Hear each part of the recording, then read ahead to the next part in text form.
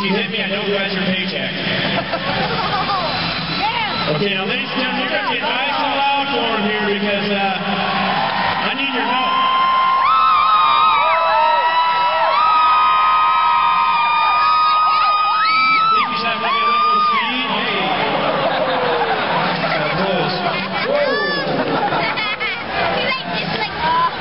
A Little more noise? Oh, he's getting a good run out. I like that.